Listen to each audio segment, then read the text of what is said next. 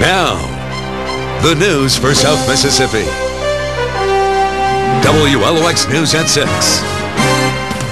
Good evening. Thanks for joining us tonight. I'm Rebecca Powers. And I'm Jeff Lawson. Crews are turning back the clock now by restoring Deer Island to how it looked more than a century ago. The U.S. Army Corps of Engineers says the first phase of the project actually began last week and includes expanding the island by hundreds of acres at a price tag of $14.5 million. Now, officials say the project is about both practicality and beauty. Danielle Thomas has more in tonight's top story.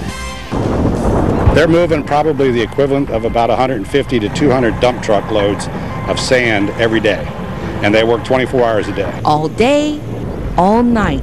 Workers dredge sand from the channels and pump it onto Deer Island, piecing together the island Mother Nature split into two. You have a cut here where it, has been cut out, not just with Katrina, but other storms in the past. Part of the Gulf restoration pr projects is to restore this island back to the way it was.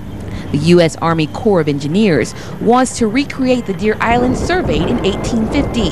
So after the sand replenishment, the Department of Marine Resources will come in to plant native grasses and trees. Build some dunes out here to provide some vegetation out here that will increase habitat for uh, shorebirds and mi migratory birds and a variety of um, of, of, of, critters that live in the water park, the shrimp, the crabs, uh, the small fish. Officials say Deer Island's added 600 acres will help lessen storm damage to the coastline. For small storm events, this obviously provides a protective barrier, and then you have the outer uh, barrier islands, which we're also working on in, in a restoration effort.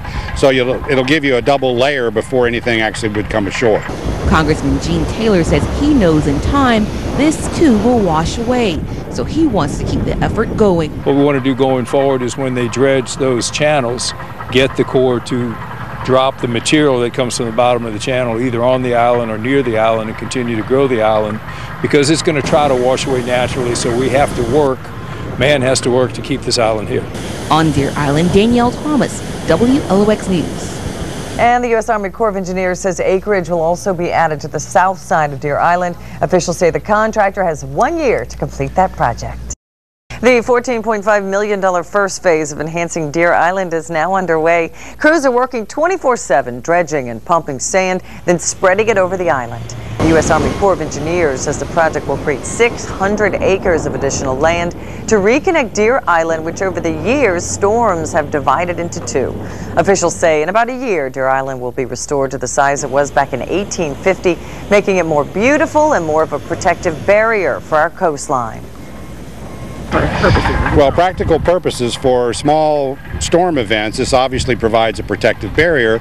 And then you have the outer uh, barrier islands, which we're also working on in, in a restoration effort. So it'll give you a double layer before anything actually would come ashore. And Corps officials say future phases will include planting native grasses and trees on the 600 acres to create more habitat for wildlife.